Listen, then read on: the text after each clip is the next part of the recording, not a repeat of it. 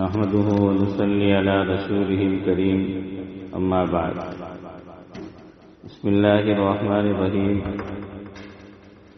इसी तरह अगर आप आका को अपनी तरफ़ मुतवजह करना चाहते हैं तो तिलावत कीजिए और आप इस्लाम के मुद्दई हैं मुसलमान होने का दावा है तो हुक्म है नबी करीम सल्लल्लाहु अलैहि वसल्लम का कि कुरान शरीफ की ऐसी तिलावत करो जैसा कि उसका हक है।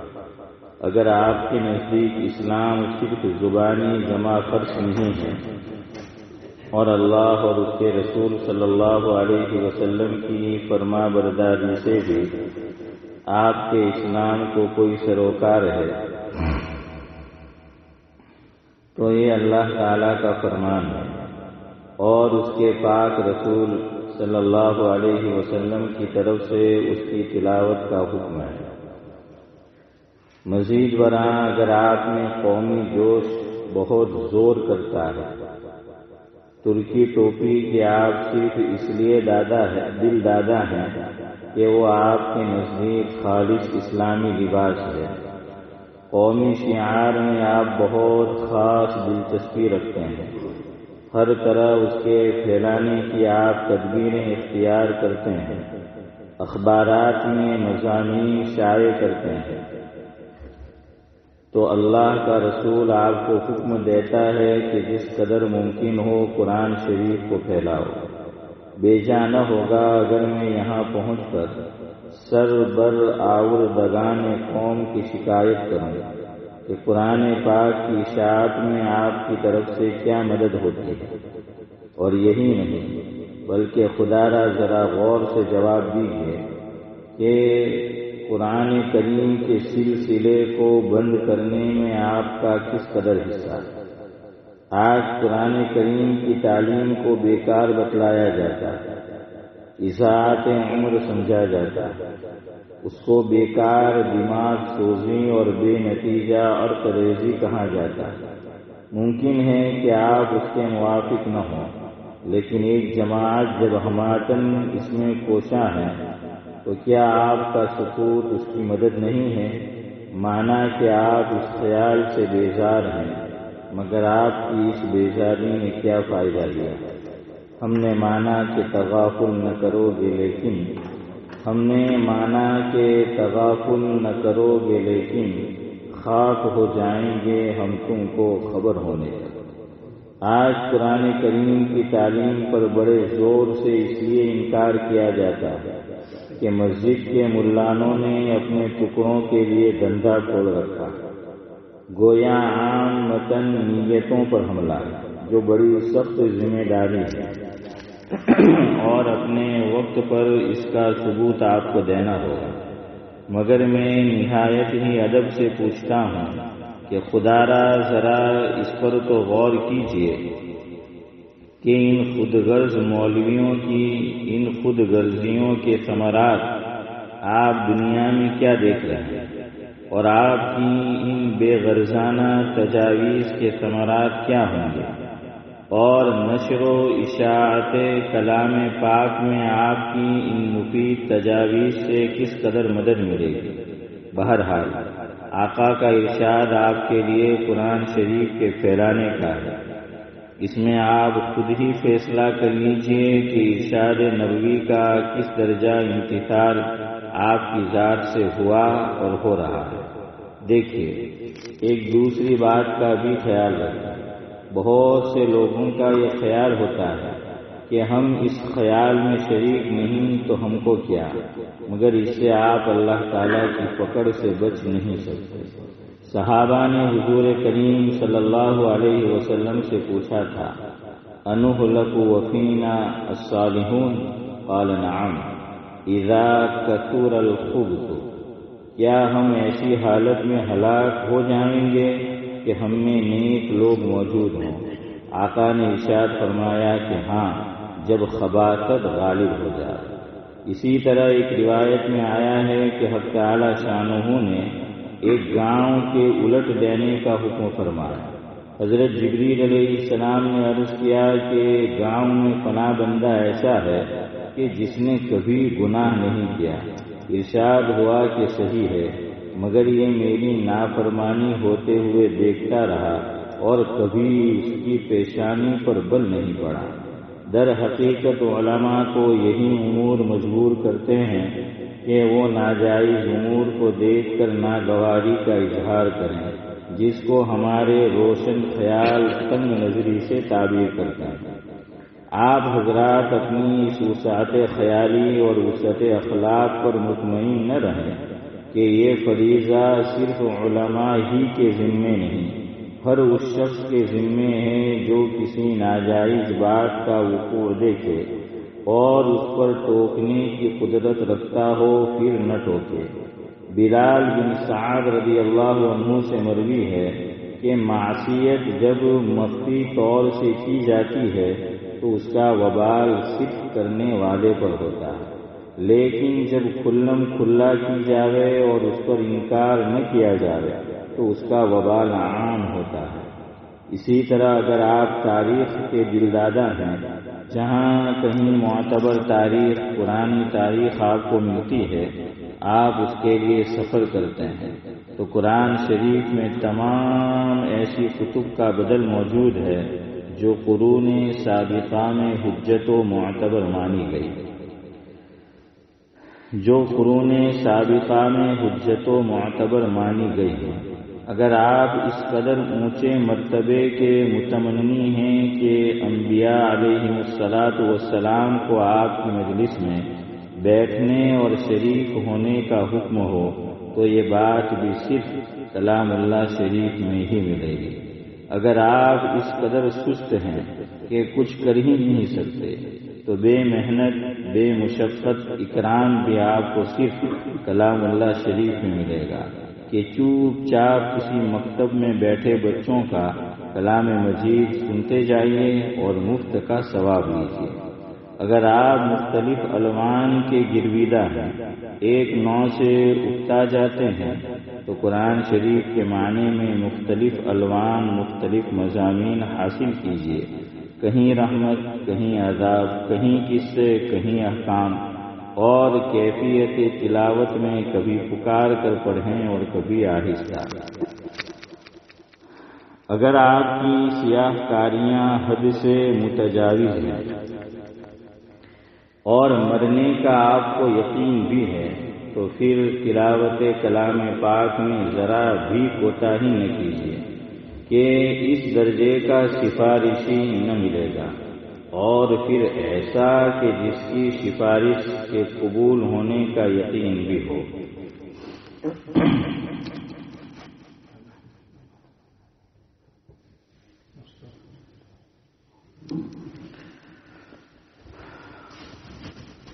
बुजुर्गान मोहतरम, कल जो मौजूद चल रहा था उसी को आगे बढ़ाना। बात कल भी यहाँ से शुरू की थी, आज भी वहीं से शुरू करते हैं। हदीस पाक में हुजूर का ये फरमान है, हदीस पाक में हुजूर का ये फरमान है, कल मैंने सादुल्ला साहिब दूसरी लाइन जरा अलग पढ़ी। लेकिन कल मैंने देखा कि माशाल्लाह वो रिवायत तो आप सबको याद है। हैं? जो मैं कहना चाह रहा था तो आज कुछ चेंज कर दिया, बदल दिया उसको। तो हदीस पाक में हुजूर का ये फरमान है, जानता उसको, हर अहले ईमान। कल मैंने क्या कहा था? सुने ध्यान से, जो अहले ईमान है। तो मैंने ध्यान से सुना तो ये पाया। तो माशाल्लाह सबको याद है। वो हदीस पाक को तो फिर आज जरा बदल दिया कि जानता उसको हर अहले ईमान है। तलबुल इल्मी फरीजतुन अला कुल्ली मुस्लिमिन व मैंने ये सोचा था कि आप ये कहेंगे कि नहीं नहीं, बस। लेकिन आपने तो लुकमा दिया। है? आपने तो फिर वह मुस्लिमा का लुकमा दिया, सिद्दीक भाई। पूरी रात कल आपको समझा है। ये तो वैसा ही किस्सा हो गया। एक खतीब साहिब ने पूरी रात सूर्य यूसुफ की तफसीर की। फजर की नमाज़ के बाद, फजर के वक्त उन्होंने ख़त्म किया तफसीर कुरान को। तो एक बंदा आता है और आकर पूछता है, मौलवी साहिब से, कि ज़रा ये बताइए आप कि जुलेखा कौन था और यूसुफ कौन था? है चौधरी साहब? कि जलीखा कौन था और यूसुफ कौन थी? अब देखिए, यही समझा उसने कि मुजक्कर को मुअन्नस और मुअन्नस को मुजक्कर जो है जावेद भाई बना दिया। तो मैंने जानबूझ के मुस्लिमीन वह बोला तो मैंने कहा कि आप मुझे कहेंगे कि बस। लेकिन आप तो डू मोर वाले नहीं। तो बहरहाल, बस यहीं तक है। तलबुल इल्म फरीजतुन अला कुल्ली मुस्लिम व मुस्लिमा, ये नहीं है। ये हदीस पाक के अंदर नहीं है आप सल्लल्लाहु अलैहि वसल्लम से ये जुमला साबित नहीं है। तो तलबुल इल्मी फरीजतुन अला कुल्ली मुस्लिम। इसमें इल्म की फर्जियत का बयान है। अब यहाँ रुककर एक बात समझो। आप जानते हैं मूसा भाई के फ़र्ज़ की कितनी किस्में हैं? मूसा भाई ये भी तो जानते हैं कि समोसे की कितनी किस्में हैं। एक खीमा का समोसा होता है और एक चिकन का भी समोसा आलू का भी होता है। तो बहरहाल, जब ये जानते हैं तो ये भी आप जानते होंगे कि फ़र्ज़ की कितनी किस्में अरे यार जवाब दो। इसी में जवाब है दो आप। हैं? हाँ इसी में जवाब है दो आप। तो फ़र्ज़ की दो किस्में। एक का नाम है फ़र्ज़ ऐन और दूसरे का नाम है फ़र्ज़ किफाया। मिसाल ले ले दोनों ये हनीफ भाई, फ़र्ज़ ऐन क्या है? कि रोज़ाना जो अमल में और आप, अल्हम्दुलिल्लाह, अल्लाह ताला की तौफीक से अंजाम दे पाते हैं और देते हैं कि पाँच वक्त की नमाज़ पढ़ना ये हर हर मुसलमान पर फ़र्ज़ है और अलग अलग फ़र्ज़ है। मेरी नमाज़ सिद्दीक भाई नहीं पढ़ सकते और सिद्दीक भाई की मैं नहीं पढ़ सकता। वो हर आदमी को अपनी पढ़नी पड़ेगी। देखिए, नमाज़ इतना इम्पोर्टेंट फरीजा है कि इसीलिए रोजा अगर कोई नहीं रख सकता तो तो कुरान करीम में भी ज़िक्र है, हदीस पाक में भी ज़िक्र है कि भाई उसकी जगह हम क्या दे देते हैं? फिदिया। उसकी जगह नूरानी भाई हम फिदिया दे देते हैं। नमाज़ के लिए भी हम फिदिया देते हैं, लेकिन न कुरान में उसका ज़िक्र है, न हदीस पाक में। नमाज़ का फिदिये का ज़िक्र नहीं है। किसी कच्ची, यानी जयीफ रिवायत उसमें भी ज़िक्र नहीं है नमाज़ के फिदिये का। तब सादुल्ला साहिब पूछेंगे कि बाबा फिर देते काय को? जब नहीं है तो देते काय को है? तो जवाब भी देना पड़ेगा इनको। है? वरना अगर खाकर आए हैं तो खाना हजम नहीं होगा। और अगर नहीं खाकर आए हैं तो गले से उतरेगा नहीं जाने के बाद। तो बहरहाल, अल्लाह ताला जजाय खैर दे हज़रत इमाम मोहम्मद अलैहि रहमत। हज़रत इमाम अबू हनीफा यहाँ जो हज़रत बैठे हैं उसमें सादुल्ला साहिब को छोड़कर सब हज़रत इमाम अबू हनीफा के मसलक पर अमल करते हैं।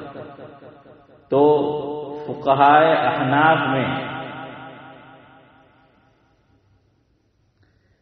जो तीन नाम, बड़े तीन नाम सरे फहरिस्त है, जिसको इल्मी इस्तिलाह में किताबी इस्तिलाह में मदारी से आरबिया में हाफिज इम्तियाज़ जानते हैं कि यूँ सिखाया जाता है और बोला जाता है, शेखैन, साहिबैन, तरफैन। तीन है, ये बड़े हजरात फुकाय अहनाफ में तो ये तीन इस्तिलाह उसके लिए गढ़ी गई। शेखैन शेखैन का मतलब होता है कि जो तीन में से दो बड़े। तीन में से क्या है? दो बड़े।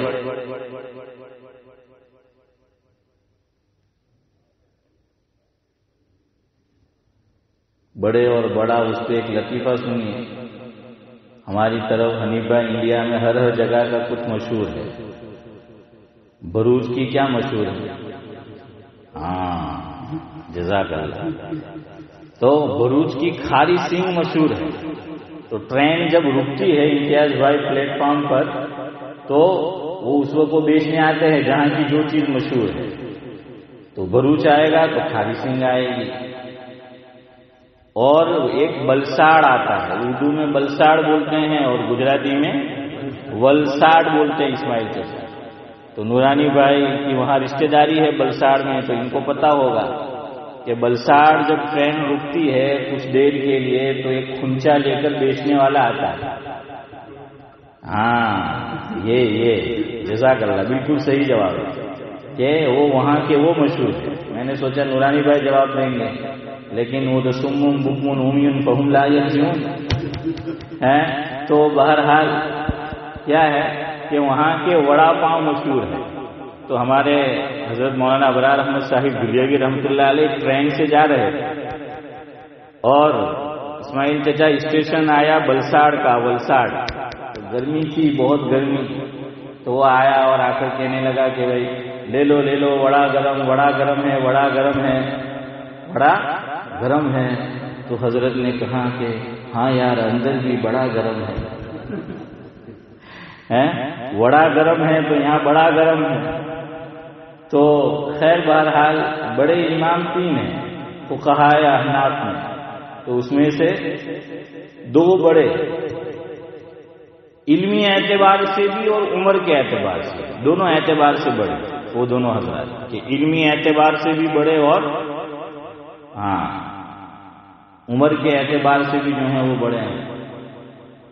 कहते हैं कि बाकायदा काजी का लकब सबसे पहले जिसको दिया गया, वो थे काजी अबू यूसुफ रहमतुल्लाह यही हज़रत इमाम अबू हनीफा अलैहि रहमा के शागिद, जिसको हम बोलते हैं हज़रत इमाम अबू यूसुफ रहमतुल्लाह तो इनके लिए लफ्ज बोला जाता है ये भी, काजी अबू यूसुफ। क्या बोलते हैं? कि काजी अबू यूसुफ।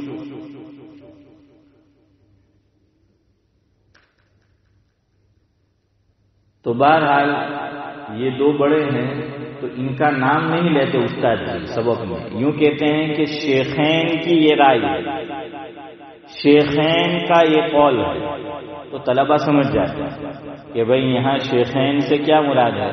हज़रत इमाम अबू हनीफा अलैहि रहमा और हज़रत इमाम अबू यूसुफ रहमतुल्लाह ये कभी बोलते हैं कि साहिबैन की ये राय है।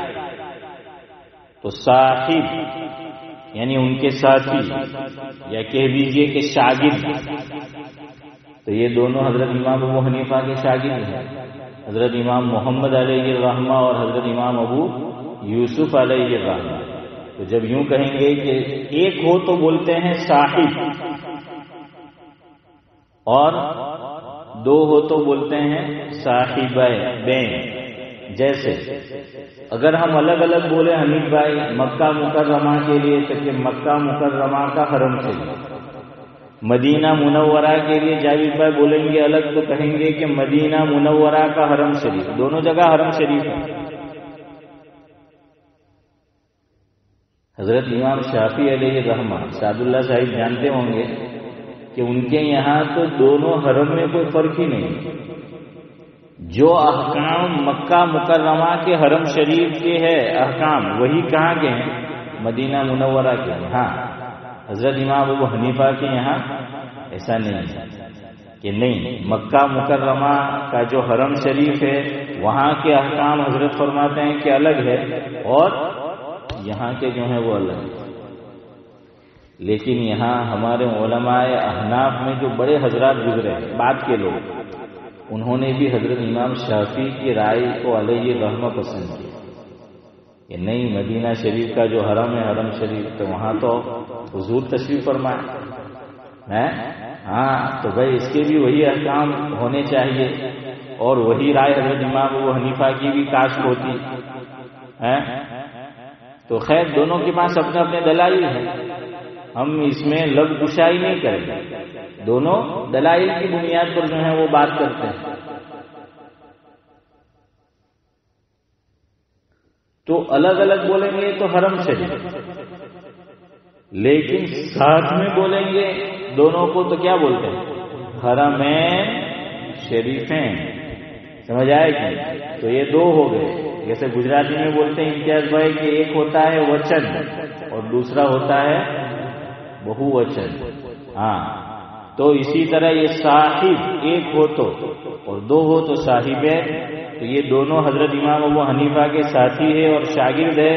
तो इनकी किसी मसले में राय अलग होगी तो कहेंगे कि साहिबैन की ये राय। इसी तरह एक है तरफैन। तरफैन कहते हैं तरफ़ किनारे को, कोने को। चौधरी साहब किसको कहते हैं? किनारे को, कि भाई ये एक किनारा है और ये दूसरा किनारा तो अब तीन बड़े हैं तो उधर से पहला और इधर से आखिरी। तो ये दोनों किनारे हुए ना? दोनों क्या हुए? हमारा एक साथी था तो तबीयत में मिजाज था। और पढ़ने तो आ गया, मौलवी बनने, लेकिन पढ़ता पढ़ता नहीं था। वो सिर्फ़ पढ़ने आया है? सिर्फ़ पढ़ने आया था, पढ़ने नहीं आया। तो उसको लोग कहते थे कि यार, तू मेहनत नहीं करता, इम्तिहान आ रहा है, सालाना इम्तिहान होंगे, घर पे जाएगा। तेरे माँ बाप जाए तुझे पूछेंगे कि भाई कौन सा नंबर आया? तो मेहनत नहीं करता तो क्या कहेगा? तो उसने कहा कि बहुत अच्छा जवाब है। क्या? लेकिन मैं कहूँगा कि पहला। तलबा तो तलबा होते हैं हैं? देखिए, इसमें झूठ भी नहीं है कि भाई पहला। तो कहा कि अगर वालिदैन चुप रह गए तो काम बन गया। और अगर पूछेंगे कुछ आगे तो फिर तो कि भाई कैसे पहला? देखिए आखिर से पहला। है? चौधरी साहब, किसी का पहले से पहला आता है और किसी का अखीर से जो है वो पहला आता है। तो वो कहता था कि अपना भी नंबर पहला आता है, लेकिन अखीर से जो है वो पहला है। तो दोनों तरफ़, दोनों किनारे। गुजराती में भी ये तरफ़ बोलते हैं। क्या तरफ़ जो फला है? तो बहरहाल तरफ़ यानी किनारा तो तीन बड़े हैं। तो उधर से पहला और इधर से आखिरी। तो दोनों किनारे हुए ना। तो इसलिए अब उसके लिए लफ्ज घड़ा, इस्तिलाह घड़ी गई तरफेन तो जब तरफेन बोलेंगे कि भाई तरफेन की ये राय है। तो अब इससे कौन मुराद होगा? हज़रत इमाम अबू हनीफा अलैहि रहमा और हज़रत इमाम अरे कुछ तो बोलो यार, इतनी आसानी से समझाता हूँ, हैं? और कि भाई ये कुछ इल्मी बातें भी आप समझे तो इल्मी बातें भी आपको मैं जो है कैप्सूल में भूल के पिलाता हूँ। हैं? तो हज़रत इमाम मोहम्मद अलैहि रहमा जजाकल्ला अशरफ भाई अशरफ भाई को ये शरफ रहा, हासिल। कि उन्होंने जो है वो जवाब दिया तो बहरहाल हज़रत इमाम मोहम्मद ये सुनो, इसमें नमाज़ छोड़ना नहीं है। शरीयत में कोई तस्वूर ही नहीं है कि मुसलमान हो और नमाज़ छोड़ है ही नहीं। इसीलिए आप देखिए, कुरान करीम ने बाकायदा हालत जंग है। उसमें भी नमाज़ का तरीका बताया, हालाँकि जंग की हालत है। दुश्मनों के साथ मुठभेड़ है, लेकिन वहाँ भी नमाज़ को माफ़ करार नहीं दिया गया। और मैं और आप, मैं और आप शॉपिंग में गए तो भी नमाज़ छोड़ हैं? शॉपिंग में गए। और कोई ज़रूरी शॉपिंग भी नहीं है। दूसरा हमारे यहाँ निकाह होता है। तो देखिए, बुनियाद ही गलत रखी जाती है, गलत पड़ती है। शेख सादी अली रहमान हाफिज इम्तियाज़, आपको याद होगा, कहाँ है, एक जगह लिखा है उन्होंने कि अगर इमारत हम बना रहे हैं, तामीरी काम कर रहे हैं, तामीर हो रही है तो उसमें जो बुनियाद है, गुजराती में बोलते हैं कि पायो। क्या बोलते हैं? कि पायो। बुनियाद अगर टेढ़ी रखी तो ये इमारत आप जितनी भी ऊपर ले जाए, वो कैसी रहेगी?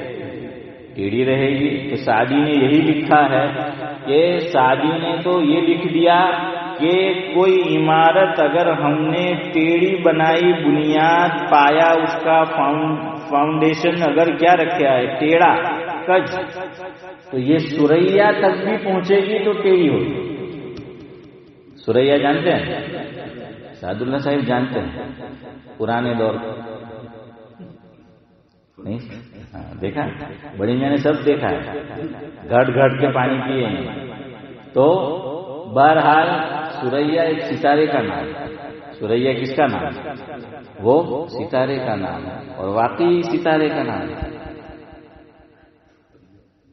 चलो, कुछ समझे। जो समझे तो मैं भी समझ गया कि उन्होंने कुछ देखा। और जो नहीं समझे तो उन्होंने नहीं देखा। है? तो सुरैया तक अगर वो जाएगी तो वो तामीर कैसी होगी? वो टेढ़ी की टेढ़ी होगी। हमारे यहाँ क्या होता है? इतना मेकअप किया जाता है दुल्हन को सवाल पैदा नहीं होता कि उस दिन वो नमाज़ पढ़ेगी। हालाँकि दुल्हन, दुल्हा और दुल्हन के लिए मुसाबाई एक्स्ट्रा नमाज़ रखी है। से फ़र्ज़ वाजिब नहीं है। हाँ ये सुन लेना एक्स्ट्रा नमाज़ नहीं फ़र्ज़ वाजिब नहीं है। लेकिन उलमा ने लिखा है कि भाई उस दिन मियाँ बीवी मुलाकात करे, उससे पहले क्या पढ़ना है? दो रकत नमाज़ पढ़नी हमारे हज़रत, इस पे जरा हँसी की बात सुनाते थे मौना अबरार अहमद साहिब विदेवी रमत के दुल्हा पहली रात को जो बीवी से मुलाकात होती है तो उस वक्त जो दो रकत नमाज़ पढ़ता है, सलात शुक्राना, ये कौन सी नमाज़ है? शुक्राने किसका शुक्राना?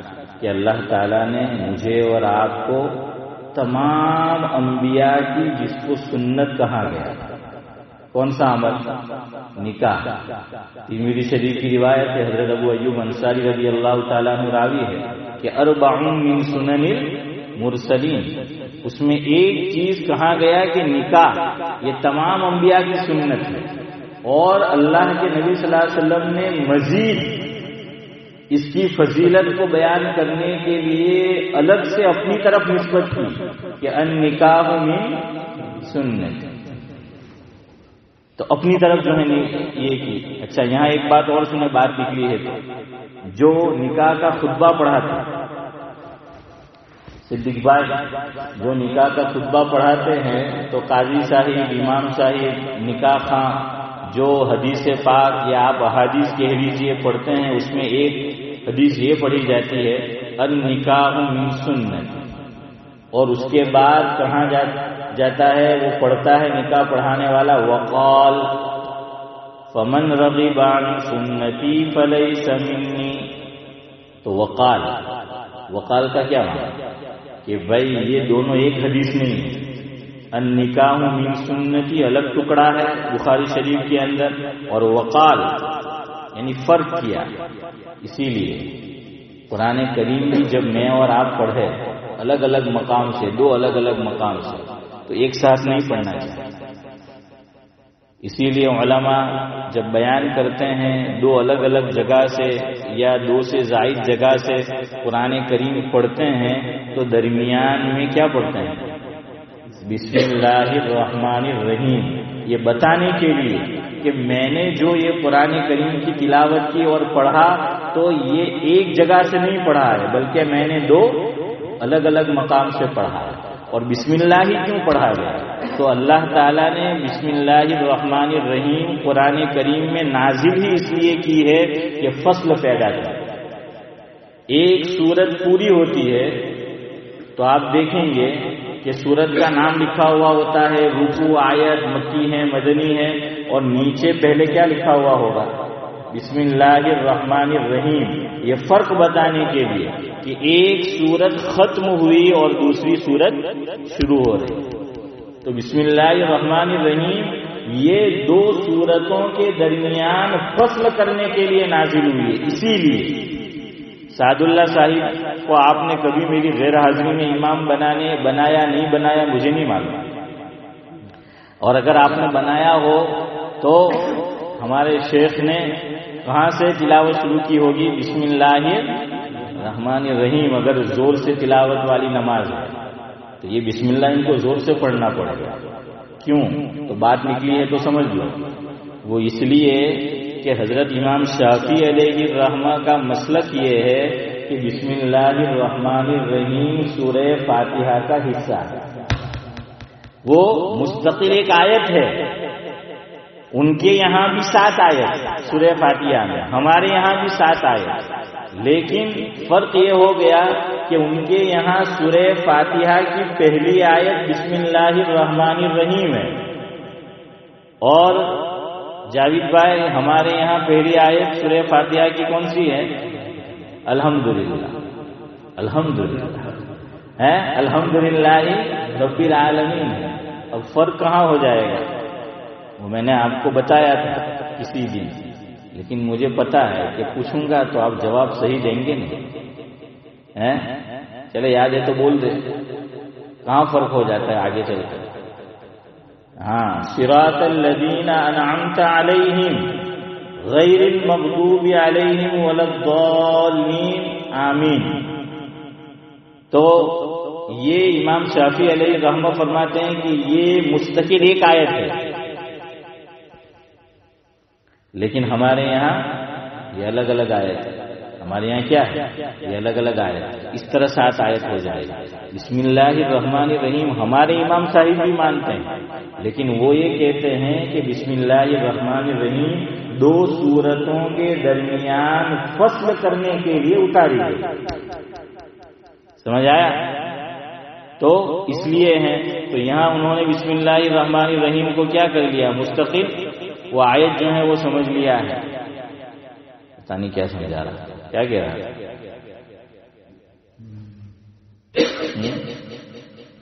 किसी को याद नहीं क्या सुना रहा है? क्या फ़र्क कुछ फ़र्क बताओ तो बताओ। हाँ। फ़र्क जजाकल्ला तो मैं ये कह रहा था कि दो अलग अलग जगह से खतीब जो बयान करता है, उससे पहले तिलावत कुरान करता है तो वो बिस्मिल्लाह पढ़ेगा। बताने के लिए कि भाई, ये जो मैंने कुरान करीम का हिस्सा पढ़ा है, वो अलग अलग जगह से।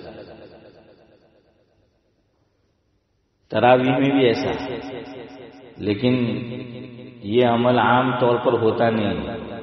तरावी में बाज मरतबा क्या होता है? कि वक्त पर लुकमा हम नहीं दे पाते। वक्त पर लुकमा नहीं दे पाए। तो वो गलत पढ़ा गया। जो हिस्सा पढ़ा गया वो गलत पढ़ा गया, या कुछ हिस्सा छूट गया, कभी छूट जाता है कुछ हिस्सा, कभी गलत पढ़ा जाता है।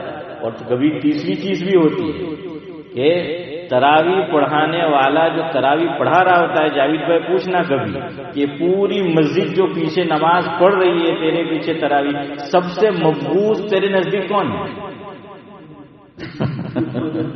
मैं तो कह ही नहीं रहा अभी सब कह रहे तो मेरे नाम तो आएगा ही नहीं है मेरा नाम तो ये खुद कह रहे हैं वो जानते हैं कि जो गलती निकालता है ना जो तरावी पढ़ा रहा हो जो उसकी गलती निकालता है तो गुजराती में આપણે કે ઇમ્તિયાઝ ભાઈ કે ઝેર જેવો લાગે है गुजराती में कहे कि झेर जेवो लागे तो वो जो पढ़ा रहा होता है इस्माइल चचा तो जो गलती निकालता है उसको जहर लगता है लेकिन वो तो निकालना पड़ेगा, वो तो पुराने करीम तो किसी की जायदाद नहीं है। उस्ताद गलत पढ़ेगा तो शागिद गलत निकालेगा। बाप गलत पढ़ेगा तो बेटा निकालेगा। वो तो निकालना है, वो तो गलत है पढ़ा गया था तो बाद हाफिज साहिबान ऐसे होते हैं कि गलत ही नहीं रहे, और उनके पास उसका एक ऑल्टरनेटिव है। हाँ जैसे गाड़ी के अंदर होता है कि स्पेयर व्हील है? ये जो हाफिज साहिबान बाद होशियार होते हैं, उनके पास भी एक ऑप्शन रखा होता है। जैसे बस के अंदर भी इमरजेंसी एग्जिट होती है। हैं? तो चौधरी साहब, इनके पास भी इमरजेंसी एग्जिट है। वो क्या? गाड़ी रुकू में चली जाती है। गलती मुसाफिर नहीं लेंगे हैं? हाँ अब बाद मतलब तो अभी गाड़ी स्टार्ट ही हुई है तो तो धक्का मारना ही पड़ेगा। हैं? ये फिर वो आगे जाएगी। लेकिन उसने तीन छोटी आयत, एक बड़ी आयत या 29 या 30 लेटर्स उसने पढ़ लिए हैं, मसला जानता है तो अब वो क्या करेगा, वो गलती नहीं लेगा। हालाँकि पहले से सोच के आया है कि पहली रकात में रुको, यहाँ करूँगा, दूसरी रकात में यहाँ करूँगा। वो पहले से उसने सोचा होता है।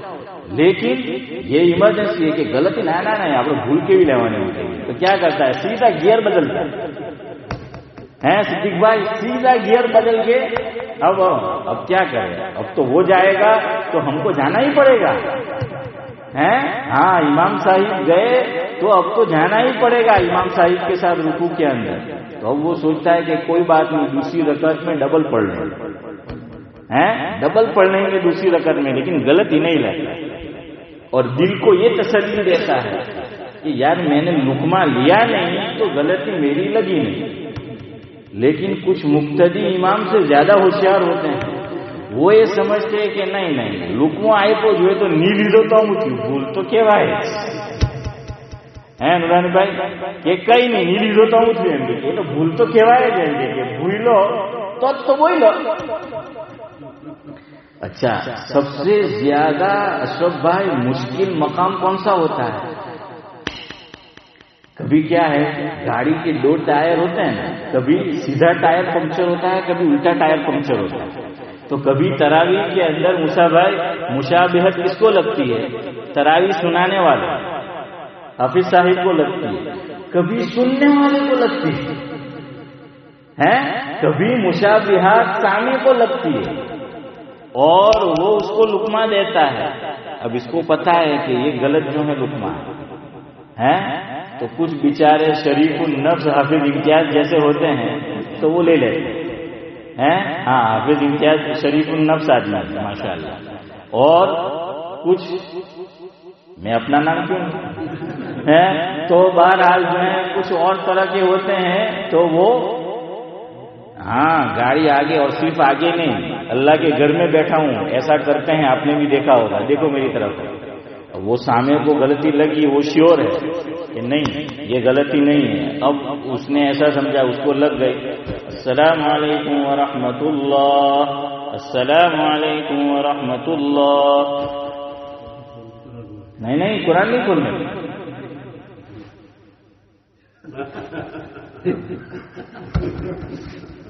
हैं? यूँ? क्यों?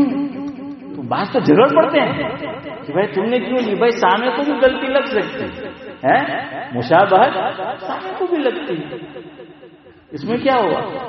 ये है वो लग सकती है कुरान करीम के अंदर? तो जानबूझ के तो वो गलती नहीं निकालता है तरावी सुनाने वाले। समझ आएगा? वो लग जाती है कभी उसको भी है मुशाबत। भाई उसने तुझे पूरे रमज़ान में तीस लुक में बराबर दिए, सही जगह। अब इक्का दुक्का हो गया तो उसकी भी तो फिर पकड़ नहीं होगी, है? कि भाई उसको भी जो है वो गलती लगती है, सामने को भी जो है वो लगती है। तो ऐसा हो सकता है। तो तरावी में हमारे यहाँ इस पे अमल नहीं होता। हालाँकि फुकाहा ने लिखा है। वो क्या लिखा है? कि अगर कुरान करीम गलत पढ़ गया या कुछ हिस्सा छूट गया तो अब एक शुफा पूरा हुआ दो रकत तो वापस जब खड़े होंगे अगर बीसवीं रकत है तो क्या करें कि भाई काले पढ़ है बीसवीं है तो अब देखिए वो कर लेंगे कि पढ़ेंगे और जाविद भाई जैसा जहीन आदमी वो कहे कि मतलब छेल्ली तरावी हुई तो તો હવે તો જે દાડે પેદા થાય તે દાડે આવજો તો પછી એનો કઈ જવાબ દેવું આપણે હે खाली खोटी खाली बाल मुका खड़ा कर है खींचा करेगा जब वो तो पैदा हो तो उसको कहा ना तो उसका फिर जो है सॉल्यूशन सोचेंगे कि क्या करना है लेकिन बार वो नहीं होता क्योंकि आखिरी दिन तो हाँ जावेद भाई की तमन्ना होती है कि हाफिज साहब हटे तो मैं पढ़ाऊं है आखिरी दिन के भाई मुझे भी जो है वो बराबर याद है तो तो सबको जो है वो याद होता है अब वो मौली मोहम्मद ने लास्ट ईयर आखिरी यकीन में पढ़ाई थी वो तरावी तो मेरा बेटा कहने लगा कि अब आता एकदम हिल्ली सूरत है कि मोल सकते हूँ आगे पढ़ा हुआ बच्चा मैं तुम जेने पूछ है कि वो क्यों जो है वो पढ़ाने के लिए खड़े हो तो यूं भी कहते कि एकदम हिल्ली सूरत तो वो भी सोचते कि अगलू पढ़ा મેં કે આ તો વેસ્ટ ઇન્ડિઝની વિકેટ છે તે બી નાઇન્ટીન એટી વાળી પીચ હે બધા લાંબા ચોળા અહીંયા કાન પહેરી જ જાય हैं सिद्दीक भाई? हाँ। तो बहरहाल इतनी खतरनाक है। तो मैं ये कह रहा था आपको कि वहाँ को ने लिखा है जिसके अमल नहीं होता, कि यहाँ फ़र्क हो जाएगा। अब मैं आपको मिसाल से समझाऊँगा ऐसी मिसाल दूँ कि आपको समझ आए कि भाई आयतुल किसी में मान लो कि किसी की गलती लग गई।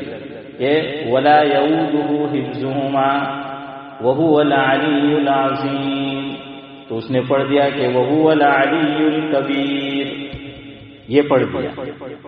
अब लुकमा हम वक्त पे नहीं दे सके। रकत खत्म हुई, उनको बताया गया कि भाई अब आपको अजीम, अब्दुल अजीम भाई को बताया गया कि आपने अजीम की जगह कबीर पढ़ लिया है। तब इसको अब आपको अजीम पढ़ना है। अच्छा अब इसने रुकू जो है कर लिया है। अब उसकी किरात तो शुरू होगी रुकू से, अलम तर इलल्लजी हाज इब्राहिम। लेकिन अब उनको ये हिस्सा भी पढ़ना है तो कुछ लोग तो पूरा ही रुकू पढ़ रहे हैं, और कुछ क्या करते हैं? सिर्फ़ उतना ही हिस्सा पढ़ते हैं जितना गलत जो है वो पढ़ा गया है या छूट गया। है तो अब वो हाफिज साहिब जो भी तरावी सुना रहे हैं तो उनको चाहिए ये था कि दो अलग अलग मकाम से पढ़ रहे हैं तो पता चले सुनने वाले को कि दो अलग अलग मकाम से पढ़ा। और बिस्मिल्लाह फ़र्क नहीं करोगे तो तर्जमा भी इधर उधर जो है वो हो सकता है। तो इसलिए उसको चाहिए था कि वो क्या करता? वहू बिस्मिल्लाहिर्रहमानिर्रहीम। अलम हाज इब्राहिम। लेकिन इब्राहिम भाई नहीं पढ़ते। है, बिस्मिल्लाह जो नहीं पढ़ी, ये जहाँ कहीं हो तो इस तरीके से दरमियान में जो है वो बिस्मिल्लाह पढ़ना है। तो निकाह के खुतबे में भी ऐसा होता है कि अन निकाह सुन्नति वकाल फमन रगीबा अन सुन्नति मिन्नी। तो ये जो वकाल लाया गया, ये बताने के लिए मुझे और आपको कि भाई ये एक हदीस नहीं है, बल्कि अलग अलग जगह से इसको जो है वो पढ़ा गया है। लेकिन इब्ने माजा शरीफ में है। इसलिए अगर कोई पूरी हदीस इस तरह पढ़े तो इसकाल मत कीजिए। इब्ने माजा में निकाह के बयान में हदीस आई है। लेकिन रजीबा का लफ्ज नहीं है वहाँ। वहाँ क्या लफ्ज है वो सुनो। कि अन निकाह सुन्नति फमल्लम यामल बिसुन्नति फलई समिन्नी कि निकाह मेरी सुन्नत है जो उस पर अमल नहीं करेगा, यानी कि एराज करेगा, वो मेरे साथ मेरी जमात में से नहीं है। तो यहाँ आ गया वो। तो ये निकाह के साथ उसका ताल्लुक है। लेकिन अगर आप कमन रजीब पढ़ेंगे तो दरमियान में वकाल जो है वो कहना पड़ेगा।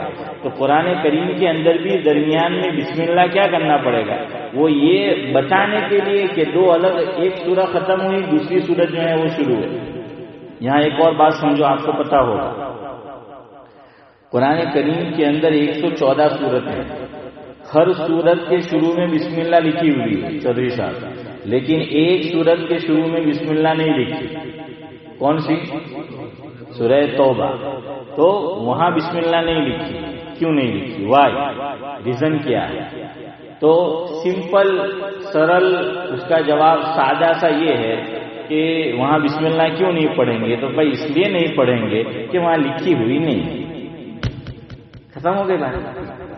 है? कोई पूछे इम्तियाज़ भाई के, इसमें आपने इम्तियाज़ क्यों किया? कि हर सूरत के शुरू में इम्तियाज़ भाई जो है वो इम्तियाज़ करते थे। कि भाई एक सूरत खत्म हुई, दूसरी हुई तो बिस्मिल्लाह पढ़ के इम्तियाज़ भाई हमें इम्तियाज़ बतलाते थे।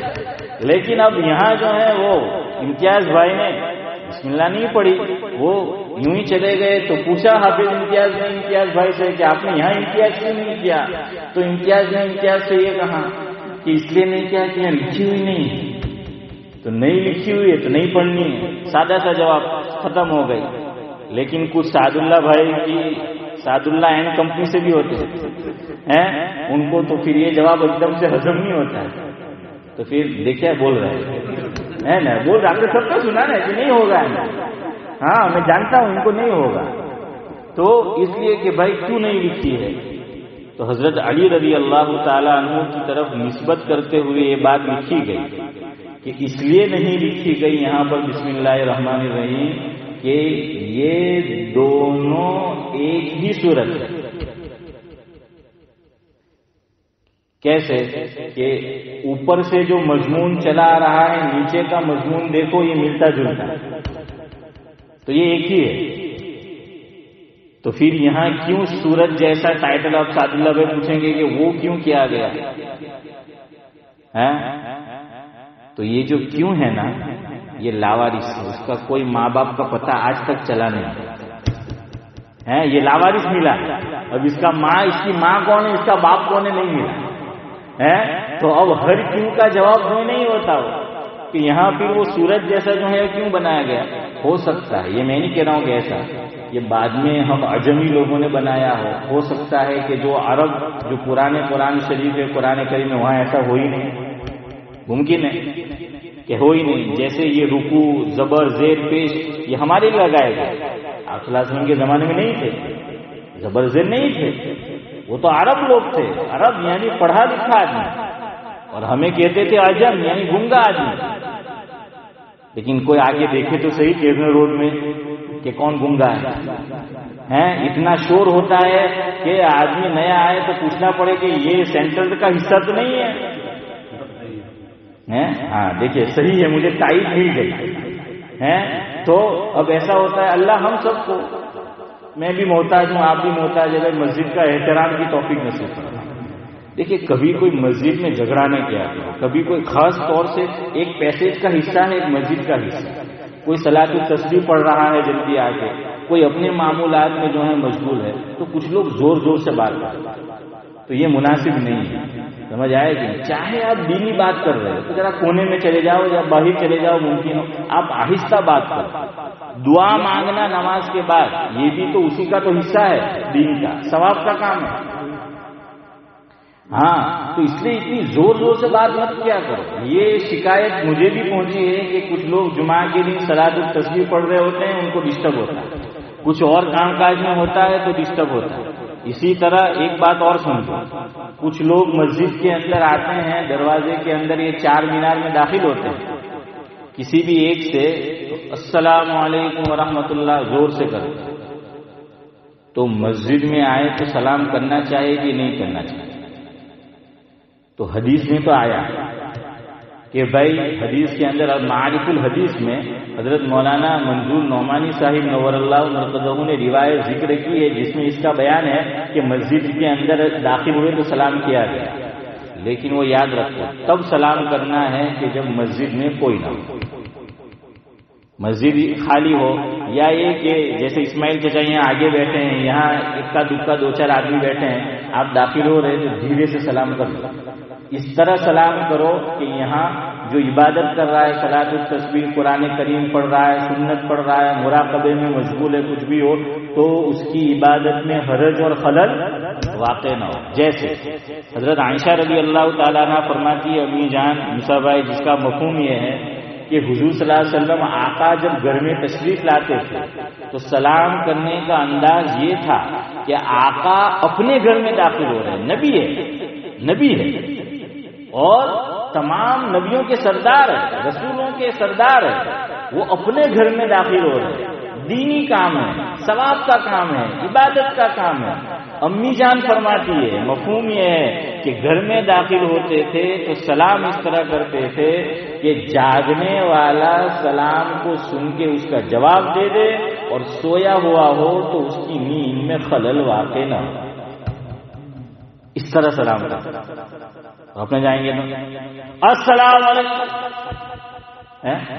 और मस्जिद में भी इतनी ज़ोर से सलाम। तो भाई आपको अगर करना है, हम बिल्कुल या मना नहीं करेंगे। अच्छा है कि आप करे तो एकदम कर लेके आपने खुद सुना कि चलो फरिश्ते जवाब दे देंगे या कोई करीब में बैठा है तो वो जवाब दे देगा। इस तरह से सलाम मत करो ये यहाँ किसी की इबादत में क्या वाक है खललवाद अब अपने यहाँ होता क्या है, उल्टा मैं लव तो नहीं बोलूँगा अच्छा नहीं है, वो कोतवाल को का है। हाँ? मैं वो नहीं बोलूँगा। अब किसी की इबादत में खलल पड़ा वो कहें यार नमाज़ पढ़ो तो तुम्हें आटली जो जूठी बात करे, आती કે તને કોણે કીધું કે અમારા પાસે પડે આટલી મોટી મસ્જિદ છે તને દેખાય ને કોણા મસ્જિદ પડે ચાલો યાર હે હા કે તને કોણ કહ્યું જગ મારવા પડે મારા क्या कहा जाए यार क्या कहा जा सकता है तो भाई चुप हो जाओ उसने कहा है ये बिल्कुल यही बात है इसीलिए मस्जिद के अंदर ये जो जोर जोर से जहरी जिक्र होता है तो मस्जिद में जहरी ज़िक्र ज़ोर से करना चाहिए कि नहीं करना चाहिए? फतावा की किताब में मसला है। तो वहाँ भी यही बात लिखी है कि शेख की अपनी मस्जिद है। जैसे खानका होती है तो खानका के साथ उनकी अपनी मस्जिद होती है। सारा कंट्रोल उनके हाथ में है, शेख के हाथ में है, उनके मुरीदीन के हाथ में आप वहाँ असर के बाद, किसी नमाज़ के बाद ज़ोर से ज़िक्र कराओ, सिखाने के लिए। बाकी मुफ्ती सही साहब का उसमें इश्काल वो अपनी है। समझ आए कि हाँ उसको भी हम नहीं छेड़ते। तो वहाँ इजाज़त दी लेकिन हमारी मस्जिद, ऐसी मस्जिद, जहाँ कमेटी साल, दो साल, पाँच साल में बदलती है और जो आना चाहे, वो आ सकता है और सब अपनी अपनी इबादत में मजबूर होते हैं। अब शेख जो ज़िक्र कराएँगे, सारे तो उसके मुरीद नहीं रमज़ान मुबारक के अंदर लोगों को तिलावत का शौक होता है। तो अब लोग पुरानी करीम की तिलावत कर रहे शेख यहाँ ज़िक्र जुरू से शुरू कर दिया। तो वहाँ लिखा है कि खास मसाजिद है। खास बनी माना कि शेख की अपनी मस्जिद है। करता करता वो है। आप कराओ कि सब आपके मुरीद है। या एक बहुत बड़ा तबका ऐसा है जो आपका मुरीद है। वो आपके साथ शामिल होगा। लेकिन यहाँ दूसरी मसाजिद उसमें मना लिखी कि आपको कराना है तो जाओ किसी रूम के अंदर। और जगह है, वहाँ जाओ। देखिए, वो रोक दिया गया। तो इसलिए भाई, कोई इबादत में मशगूल है सलाम भी ना करो। बातचीत भी जो है, वो आहिस्ता से करो। समझ आया कि अब बातचीत कब होती है? कभी मस्जिद के अंदर किसी बड़े मौली साहब का बयान है, निकाह की मजलिस है, या फिर तबलीगी जमात वालों का इज्तिमा है, ये जितने भी बड़े प्रोग्राम होते हैं तो उस दिन बातें अच्छी अच्छी होती है, लेकिन उसी दिन ये काम भी होता है कि इतना शोर होता है मस्जिद के अंदर के बोलना पड़ता है कि भाई आप क्या करो? इसलिए हज़रत मुफ्ती तकी उस्मानी साहिब दामद बरकातुल आलिया की राय ये है कि निकाह मस्जिद में जब हो तो दूल्हे को मुबारकबादी मस्जिद के अंदर के हिस्से में ना दो बाहर के हिस्से में ताकि मस्जिद में शोर शगब और शोर शराबा न हो। इसलिए कहा कि बाहर जो है वो दो। देखिए, मैं आपको एक पुराना अमल बताऊँगा वो क्यों बंद हो गया? और बात को खत्म करता हूँ। इंशाल्लाह कल फिर आगे जो है वो ज़िक्र करेंगे। बस खाली इशारा कर देता हूँ। और याद रहा तो कल एक दिलचस्प किस्सा सुनाएँगे इंशाल्लाह आपको वो। बचपन में मैंने भी देखा ये जावेद भाई, मुसा भाई मुलानी भाई हैं, और ये तो हमारी पुरानी यादगार है। तो बहरहाल, है, इन्होंने तो जो है वो देखा ही होगा, चौधरी साहब, आपने भी कि निकाह की अशरफ भाई मजलिस होती थी तो निकाह के बाद छुआरे हाथ में दिए जाते थे, यानी तकसीम किए जाते थे या लुटाए जाते थे? हाँ माशाल्लाह, आप सबने बोला कि लुटाए जाते थे, नहीं, मैंने भी जो है वो देखा है कि वो लुटाए जाते हैं तो हमारे बड़े बूढ़े तो बेचारे ऐसे थे कि जो मस्जिद का फिर भी एहतराम करते थे। मेरे जैसे जंगली जब पैदा हुए, हैं, और वो आए तो अभी अमर इम्तियाज़ भाई बंद हो गए। क्यों? हालाँकि लुटाना हुजूर से साबित इस तरीके से। हदीस से साबित है इस तरह का अमल। लेकिन क्यों? हमने मस्जिद का एहतराम छोड़ दिया। अब वो खालिक मेरे इसमें आकर गिरी तो अब्दुल खालिक भाई। हैं? तो वो खालिक के लिए मूसा भाई से लड़ेंगे। और मूसा का गुस्सा मशहूर है। हैं? तो अब जो है, वो ऐसा गुस्सा मारेगा कि घर जाके उसको समोसा खाना पड़ेगा। तो बहरहाल, अब जो है, वो ऐसा हो जाता है। देखिए, वो खारे कब यहाँ जो है, वो पड़ी। अब बाज मतबा क्या होता है? वो कूद के जाती है। हैं?